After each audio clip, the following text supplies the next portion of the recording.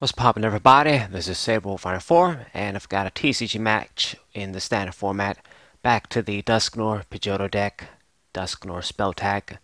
And this is another deck that's gonna have to drastically change with the rule changes since you won't be able to take advantage of that sweet uh, Professor Elm turn 1, you know, get the Pidgeys, you know, you slow down significantly.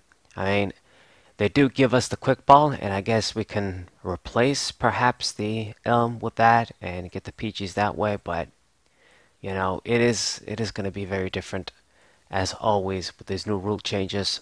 Uh, decks will have to be constructed uh, completely from scratch. I would say you can't just change a few cards and then go at it.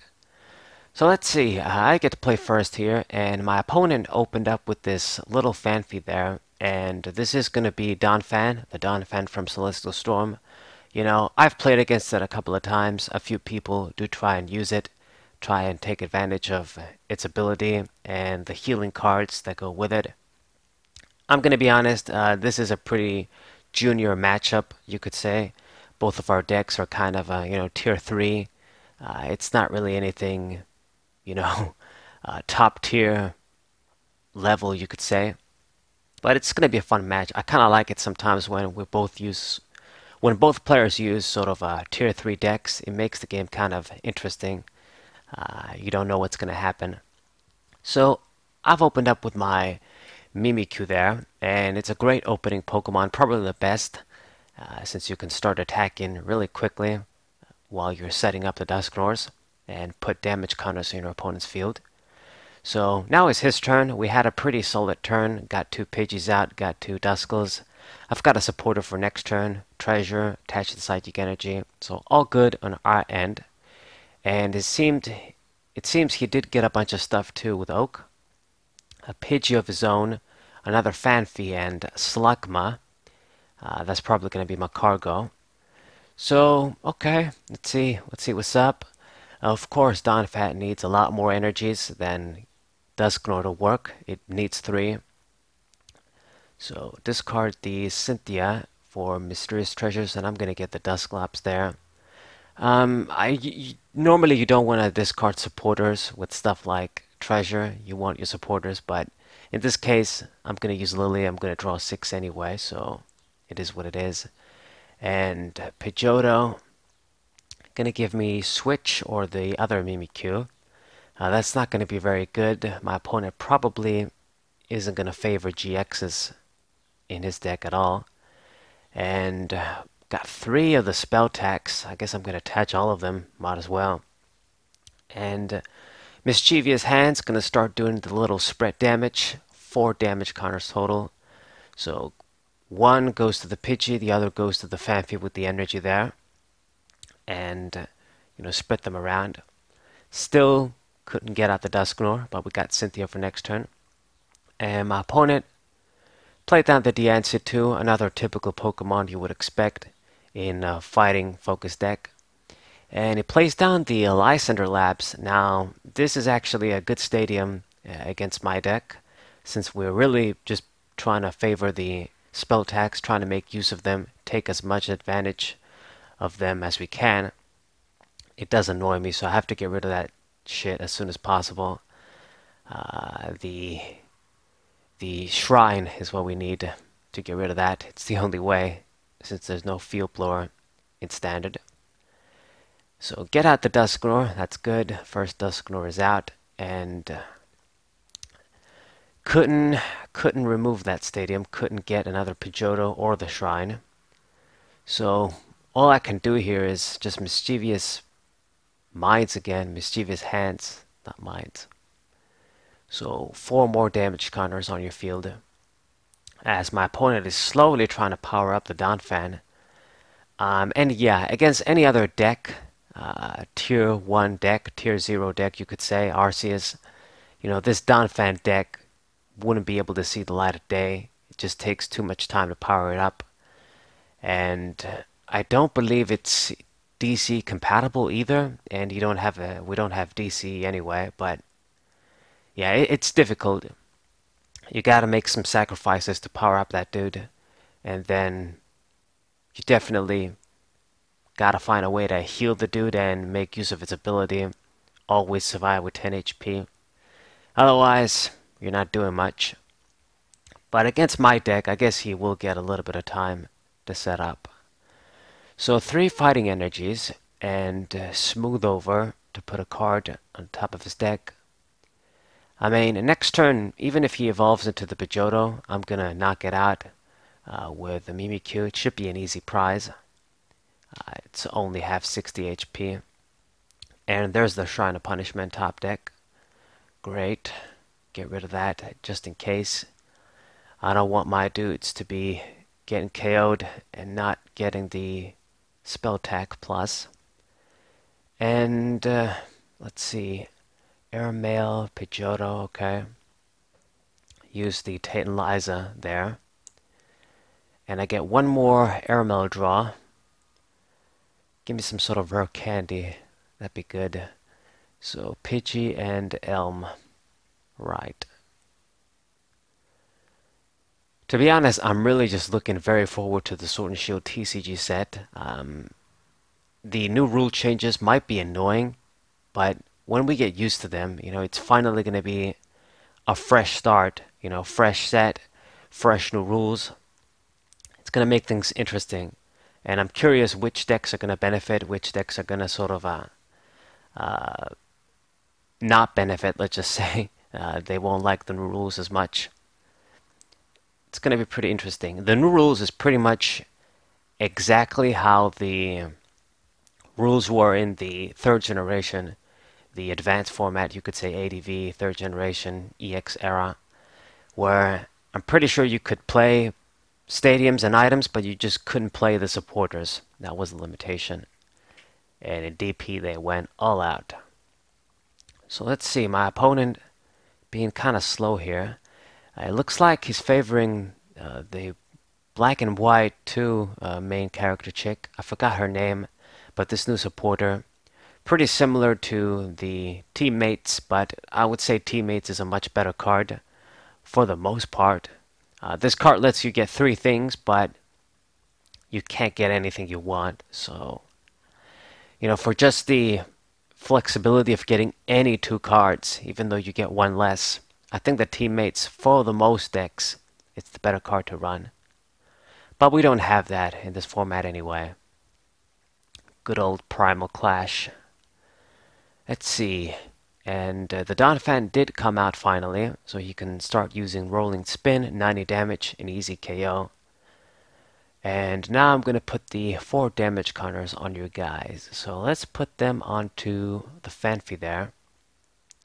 If I get lucky, uh, hopefully I kill it before it evolves. That would be great. And promote the Dusknoir.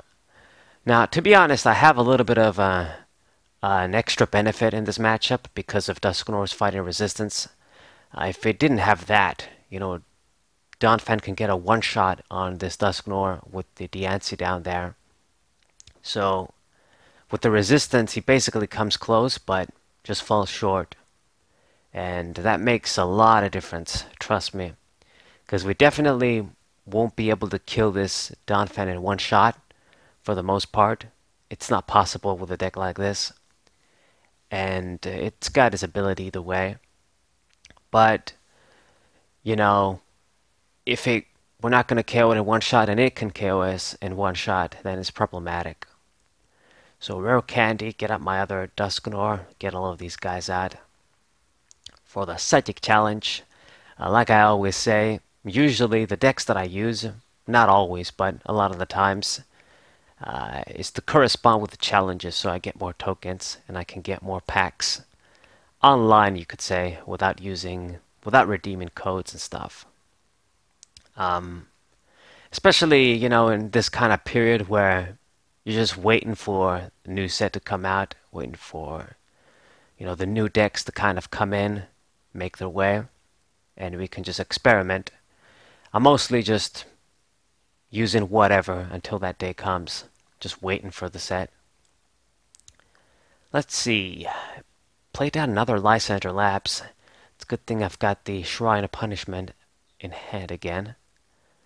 And I'm glad you won't kill me in one shot, because I would be losing the spell tag benefit too. So Shrine of Punishment once again, and let's go for the Adventure Bag. Only a one spell tag left in the deck.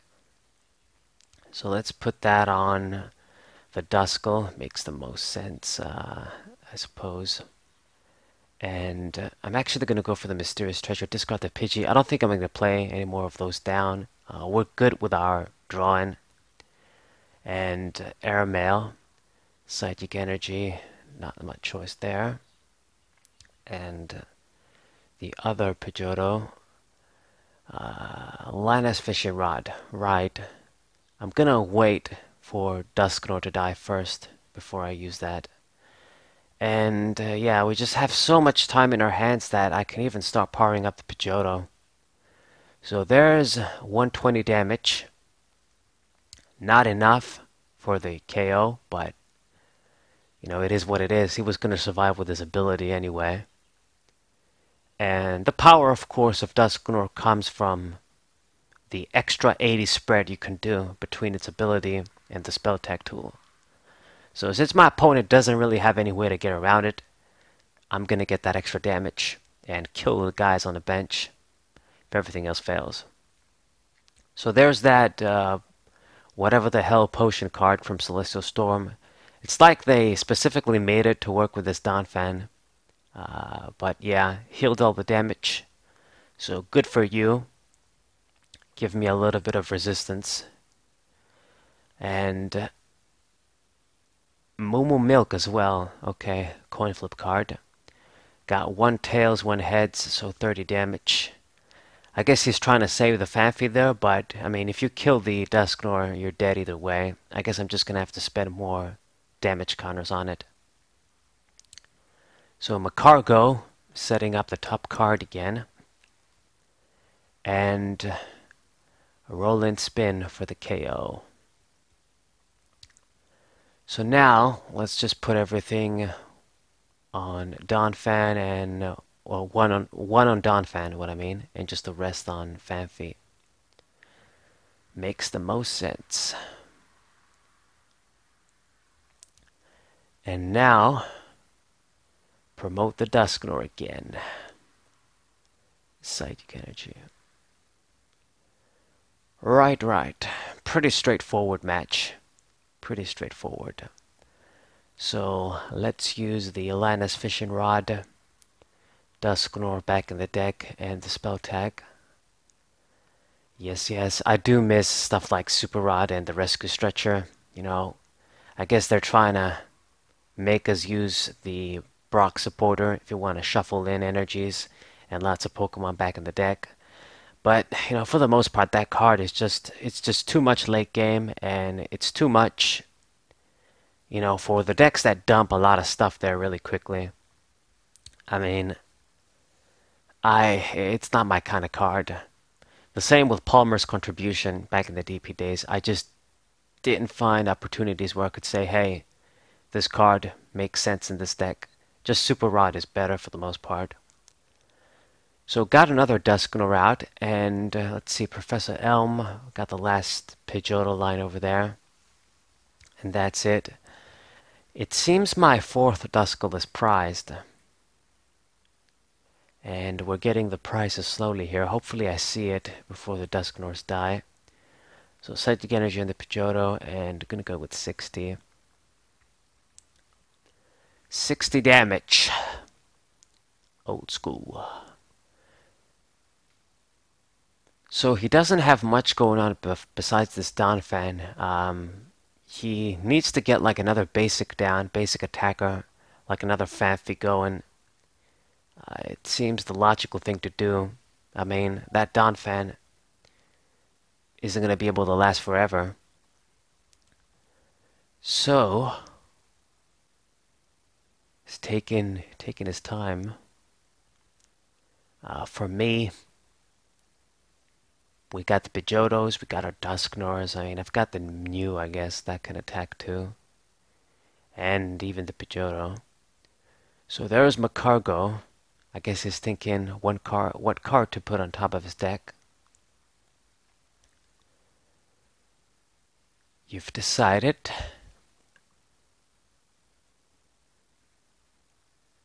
And what else? What else are you gonna do?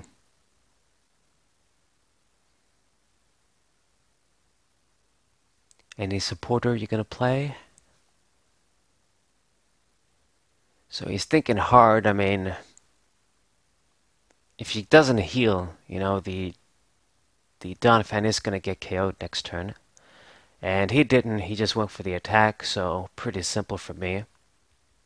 Let's put, you know what, I'm just going to hold on to the Psychic Energy. There's nothing for me to attach to anymore. Like, I don't want to start putting them on another Pidgeotto. So let's just use a bunch of airmails, get the rare candy, get all the stuff. Be a little bit careful, because I don't want to deck myself out. And Psi Power, just 120 damage there goes the Donphan. And get my third prize, Duskull. So now he's going to use the Diancie. There is a sacrifice.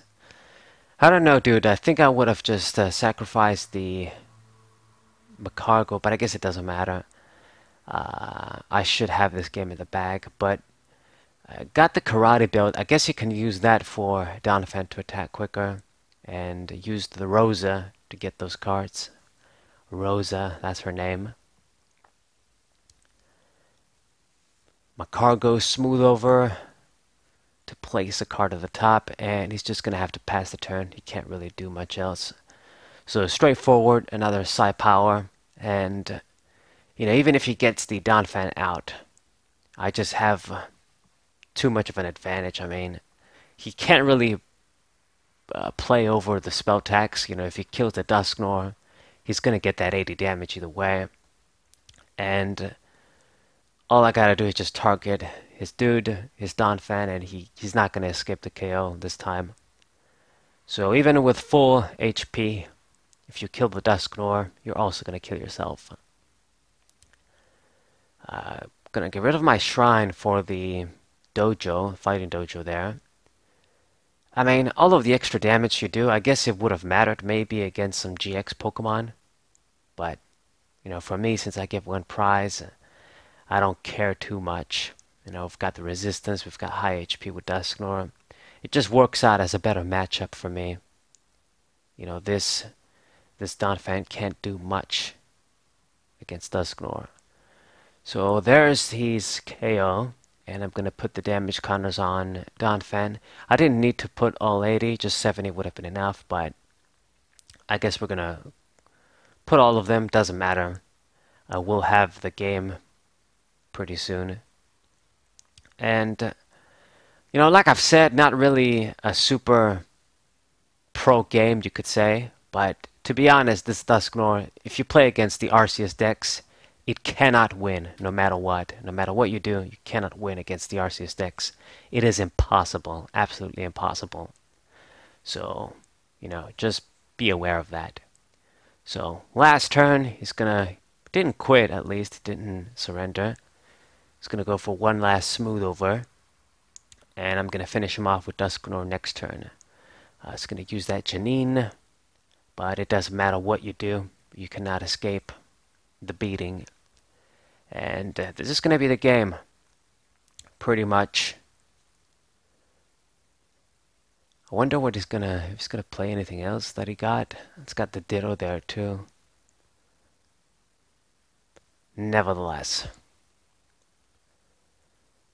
Custom catcher. Yeah, it, it would have been something I guess if you tried to get some of my guys stuck, but I've got a low retreat so it wouldn't matter anyway. So let's evolve into the other Dusknoir for the challenge first before I finish you. So GG. Hope you guys enjoyed this game. Hope you guys subscribe, leave a like, share this video with your friends, and thank you guys for watching as always. Zero Final 4 was saved.